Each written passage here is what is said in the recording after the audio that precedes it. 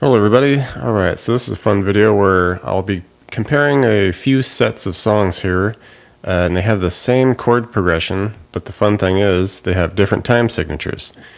So uh, let's get right into these. Do me a favor and hit that subscribe button, you'd be helping me out a lot.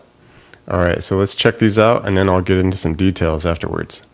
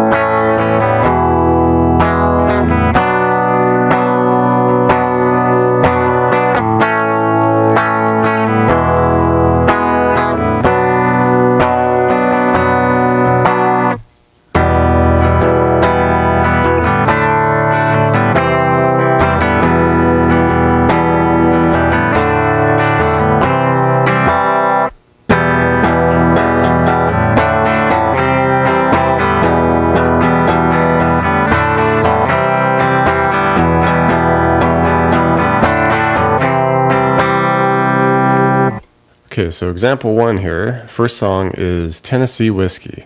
All right, and this will be a 3-4 time. All right, and it's going to start with about four measures with an A. Okay, so just one, two, three, one, two, three.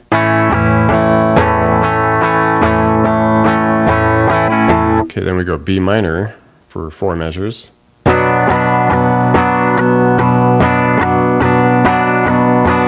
D for four measures.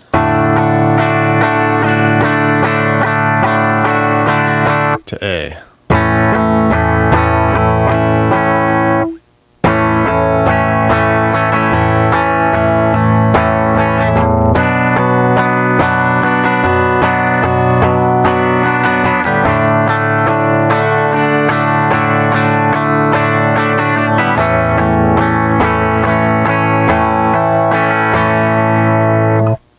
All right, and now we find out that uh, it matches up pretty dang well to What's Up by Four Non Blondes.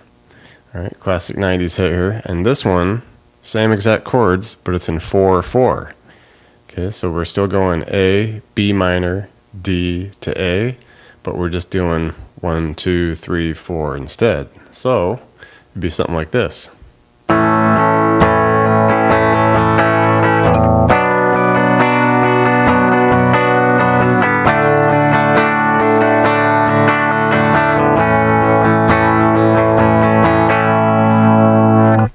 Next example here. Uh, we have another 90s hit. It's uh, Fade Into You by Mazzy Star. All right, and this one, chord progression is A. All right, and this will be in the 3 4 time. Okay, a couple measures worth. Then we go to E, a couple measures worth of 3 4. And then we finish this one by doing a B minor. Okay, four measures.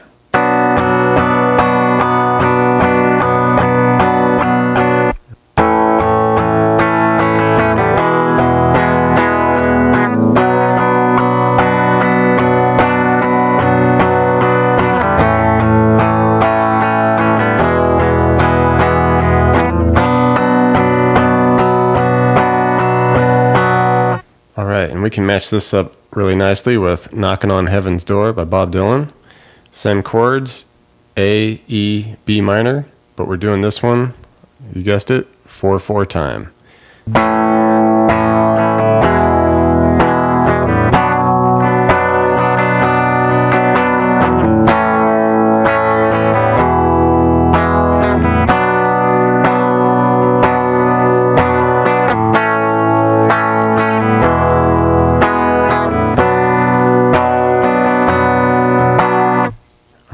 Last pair of songs here.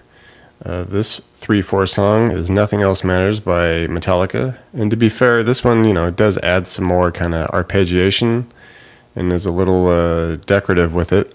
But the basic chords here, uh, we're basically going to do a couple measures of the E minor. One, two, three, one, two, three. Okay, then we do a measure of D and a measure of C.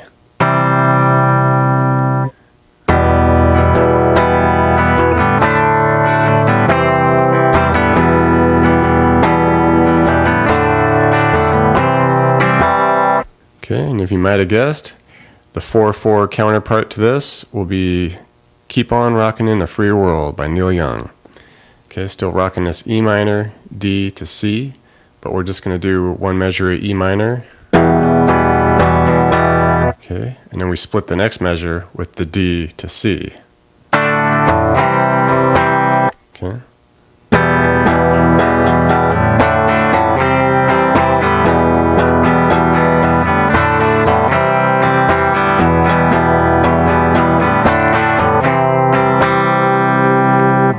Thanks for checking out the video, everybody. Like it, share it, leave a comment. It's always good to hear from you. Um, do me a favor and hit the subscription button.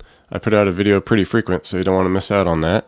Uh, check out the links in the description box below. I have really cool links for uh, tablature books, all the gear I use, t-shirts, fun stuff like that. So thank you very much, and we'll see you next time.